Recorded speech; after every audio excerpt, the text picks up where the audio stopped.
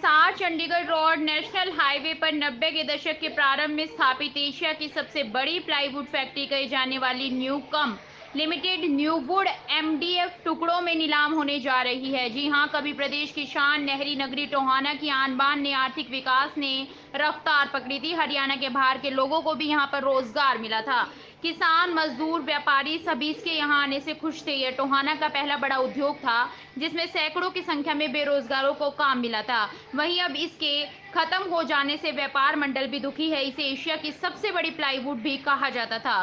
Firm अंदरूनी कलह के चलते घाटे में जाती रही और आज चमचमाते दरवाजों पर जंग लग गया है। दरवाजों पर ताले लटक रहे और अंदर जाने की हर एक को मनाई है। हालात ये हो चुके हैं कि उन लोगों का फर्म पर लाखों रुपए का बकाया खड़ा है। जो इस जो इस फर्म से जुड़े थे, मजदूर नेता बताते हैं कि दो ढाई करोड़ के लगभग तो वर्कर का ही बकाया है। इसके अलावा अलग अलग विभाग व फर्म का भी लाखों का बकाया है।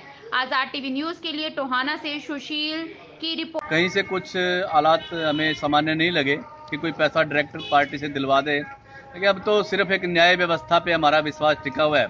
हो सकता है कि न्याय व्यवस्था आने वाले समय में उचित फैसला दे के हमारा पैसा दिलवा दे। द्वारा जो टोहाना की है जिसका पैसा निकल फैक्ट्री के पास था और कोर्ट द्वारा ही इसको ज़मीन को अटैच किया गया था और उसके अटैचमेंट के बाद नीलामी के जो आदेश हमें प्राप्त हुए हैं, उसकी कंप्लाइंस आठ आठ दो हज़ार सत्रह तक राजस्व विभाग टोहाना द्वारा की जानी है। तो इसमें फर्दर जो भी कार्रवाई है, वो आगे हम भी करेंगे।